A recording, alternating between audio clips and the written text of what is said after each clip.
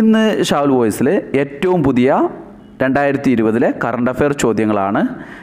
അപ്പോൾ ഈ current affair ചോദ്യങ്ങൾ പറയുമ്പോൾ അത് കേട്ടാൽ മാത്രം പോരാ നോട്ട് ചെയ്ത് വെക്കുക.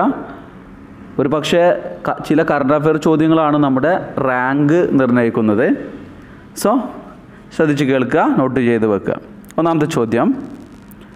ഇന്റർനാഷണൽ ഒളിമ്പിക്സ് കമ്മിറ്റിയുടെ ഒളിമ്പിക്സ് ചാനൽ കമ്മീഷൻ അംഗമായി തിരഞ്ഞെടുത്ത ഇന്ത്യക്കാരൻ ഇന്റർനാഷണൽ ഒളിമ്പിക്സ് കമ്മിറ്റിയുടെ ഒളിമ്പിക്സ് ചാനൽ കമ്മീഷൻ അംഗമായി തിരഞ്ഞെടുത്ത ഇന്ത്യക്കാരന്റെ പേര് നരീന്ദർ ബത്രെ. നരീന്ദർ ബത്രയാണ് ഇന്റർനാഷണൽ ഒളിമ്പിക്സ് കമ്മിറ്റിയുടെ ഒളിമ്പിക്സ് ചാനൽ കമ്മീഷൻ അംഗമായി തിരഞ്ഞെടുത്ത ഇന്ത്യക്കാരൻ. അടുത്ത ചോദ്യം സംസ്ഥാന സർക്കാരിന്റെ കോവിഡ് പ്രതിരോധ ഗീതം ഏതാണ്? നമ്മുടെ കേരള സർക്കാരിന്റെ കോവിഡ് പ്രതിരോധ ഗീതം ഏതാണ്? നമ്മളൊന്ന് എന്നുമൊന്ന് കേരളമേ. നമ്മളൊന്ന് എന്നുമൊന്ന് കേരളമേ.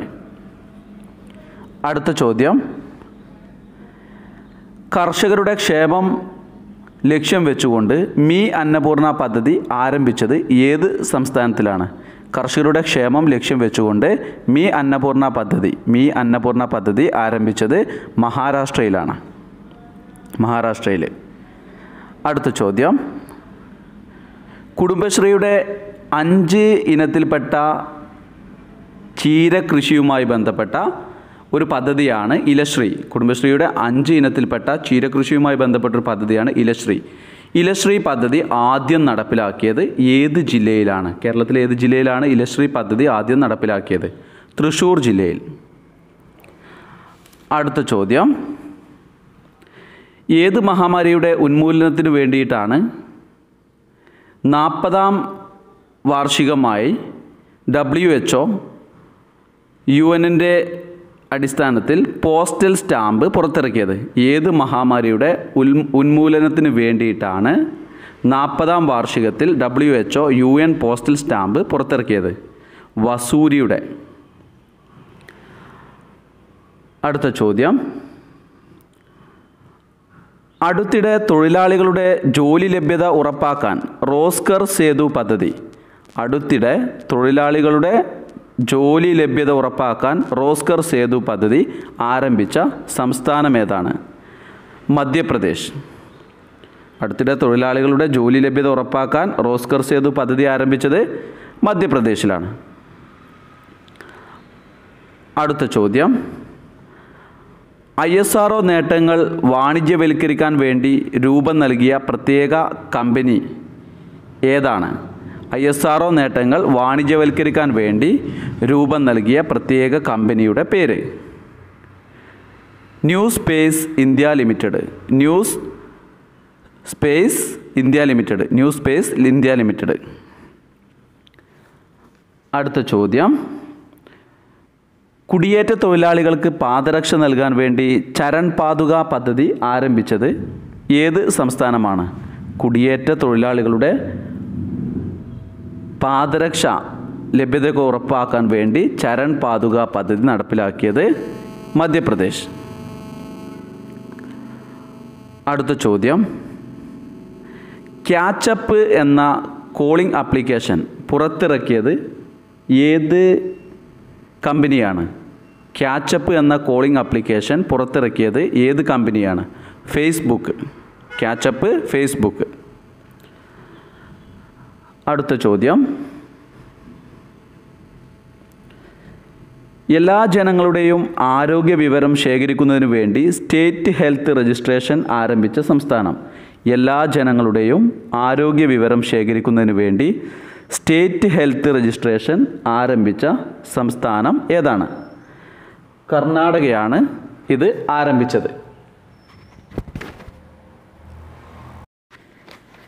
അടുത്ത ചോദ്യം. സംസ്ഥാനത്തെ സൂക്ഷ്മ ചെറുകിട വ്യവസായങ്ങളുടെ പുനരുജ്ജീവനത്തിനായി അവതരിപ്പിച്ച പാക്കേജിന്റെ പേര്. സംസ്ഥാനത്തെ സൂക്ഷ്മ ചെറുകിട വ്യവസായങ്ങളുടെ പുനരുജ്ജീവനത്തിനായി അവതരിപ്പിച്ച പാക്കേജിന്റെ പേരാണ് വ്യവസായ ഭദ്രത. വ്യവസായ ഭദ്രത. ഓക്കെ. അപ്പോൾ നമുക്ക് അടുത്ത ചോദ്യത്തിലേക്ക് കടക്കാം. കൊച്ചിയിലെ ജനങ്ങൾക്ക് വെള്ളക്കെട്ടിൽ നിന്ന് ശാശ്വത പരിഹാരം ഉണ്ടാക്കുന്നതിന് വേണ്ടി നടപ്പിലാക്കുന്ന പദ്ധതി. കൊച്ചിയിലെ ജനങ്ങൾക്ക് മഴക്കാലമൊക്കെ ആകുമ്പോൾ വെള്ളക്കെട്ടുണ്ടാവും. അപ്പോൾ കൊച്ചിയിലെ ജനങ്ങൾക്ക് വെള്ളക്കെട്ടിൽ നിന്ന് ശാശ്വത പരിഹാരം ഉണ്ടാക്കുന്നതിനായി നടപ്പിലാക്കുന്ന പദ്ധതിയാണ് operation break through. Operation breakthrough. അടുത്ത ചോദ്യം.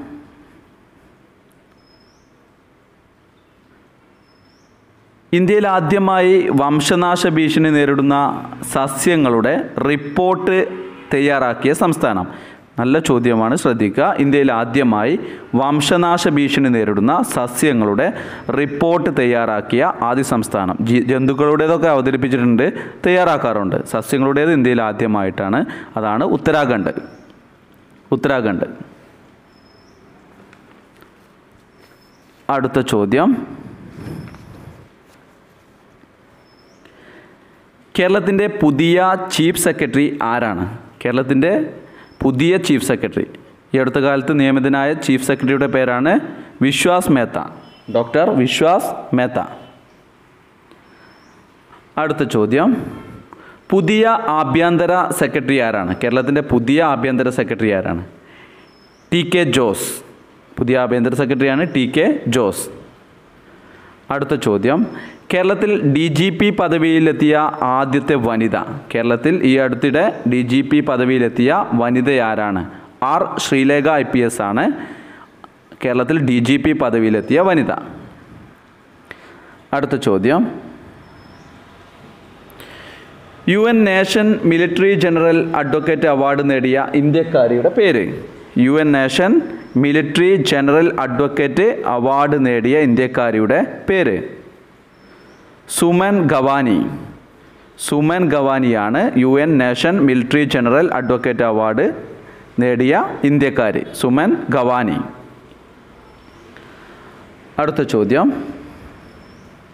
നബാർഡിന്റെ ഡെപ്യൂട്ടി മാനേജിംഗ് ഡയറക്ടറായി ചുമതലയേറ്റ മലയാളി ആര്? നബാർഡിന്റെ ഡെപ്യൂട്ടി മാനേജിംഗ് ഡയറക്ടറെ ഡയറക്ടറായി ചുമതലയേറ്റ Malayali K V Shaji. K V ഷാജിയാണ് നബാർഡിന്റെ പുതിയ ഡെപ്യൂട്ടി മാനേജിംഗ് ഡയറക്ടറായിട്ട് ചുമതലയേറ്റത്. K V Shaji. അടുത്ത ചോദ്യം. ലോകത്തിലെ ആദ്യത്തെ ഹോസ്പിറ്റൽ ട്രെയിനിന്റെ പേര്. നമ്മുടെ ഇന്ത്യയിലാണിതുള്ളത് ലോകത്തിലെ ആദ്യത്തെ ഹോസ്പിറ്റൽ ട്രെയിനിന്റെ പേര്. The lifeline express. ലോകത്തിലെ തന്നെ ആദ്യമായിട്ടാണ് ഇന്ത്യക്കാർ ഇറക്കിയ train the life line express ആണ് ഫസ്റ്റ് ഹോസ് എന്താ പറയുക ഹോസ്പിറ്റൽ ട്രെയിൻ എന്ന് പറയുന്നത്. ആശുപത്രി ട്രെയിൻ അടുത്ത ചോദ്യം. സ്വകാര്യ വാഹനത്തിൽ സഞ്ചാരികളെ ബഹിരാകാശത്ത് എത്തിക്കുന്ന ആദ്യ രാജ്യം ഏതാണ്? സ്വകാര്യ വാഹനത്തിൽ സഞ്ചാരികളെ ബഹിരാകാശത്ത് എത്തിക്കുന്ന ആദ്യ രാജ്യമാണ് യു എസ് എ. വാഹനത്തിന്റെ പേര് ക്രൂ ഡാ ഡ്രാഗൻ ക്രൂ ഡ്രാഗനിലാണ് യു എസ് സഞ്ചാരികളെ ബഹിരാകാശത്ത് എത്തിച്ചത്. സ്വകാര്യ വാഹനമാണ് ക്രൂ ഡ്രാഗൻ അടുത്ത ചോദ്യം. ആർമി കമാൻഡർ കോൺഫറൻസിന് ഒന്നാം ഘട്ടത്തിന് വേദിയൊരുക്കിയത് എവിടെയാണ്? ആർമി കമാൻഡർ കോൺഫറൻസിന്റെ ഒന്നാം ഘട്ടത്തിന് വേദിയൊരുക്കിയ സ്ഥലമാണ് ന്യൂഡൽഹി ആർമി കമാൻഡർ കോൺഫറൻസിന്റെ ഒന്നാം ഘട്ടത്തിന് വേദിയൊരുക്കിയ സ്ഥലമാണ് ന്യൂഡൽഹി